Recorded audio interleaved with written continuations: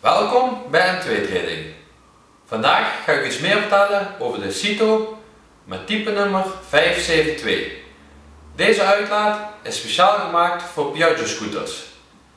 Deze uitlaat is gekeurd voor de Piaggio Energy MC2, zowel voor de luchtgekoelde als de watergekoelde versie.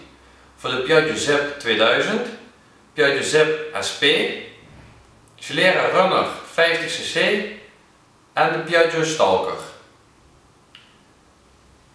Deze uitlaat kenmerkt zich vooral door het chrome potje aan het einde.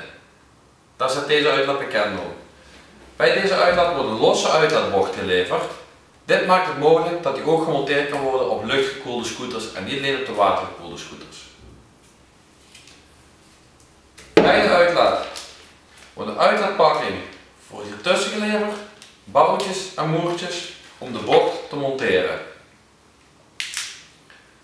Wanneer we het losse pijpje pakken, dan zien we er een rode stekker om zitten. Die rode stekker is om u te waarschuwen dat er nog een begrenzer in deze uitlaat zit, ook wel een prop genoemd.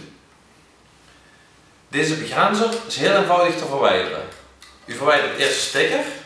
Achter de stekker dat is een, ziet u in een buisje zitten dat met één of twee laspunten vastgemaakt is.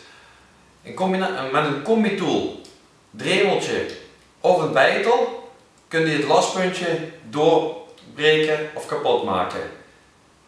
We adviseren dit om niet met een boor te doen, want wanneer je het pijpje kapot gaat boren, valt het in de uitlaat en gaat de uitlaat rommelen.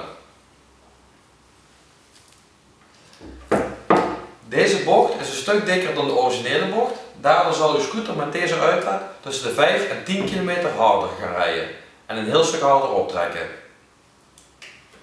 Bij deze uitlaat wordt ook nog een boekje met de omschrijving gegeven en er zit een sticker bij dat uw uitlaat goedgekeurd is voor uw scooter. Hier op de bevestigingsbeugel staat het typekeuring nummer, waarmee als u ooit eens een keer aangehouden wordt, u kunt aantonen dat uw uitlaat goedgekeurd is voor de openbare weg. Mocht er nog vragen zijn, kunt u altijd terecht bij onze klantenservice. Alvast bedankt voor het kijken, tot de volgende keer.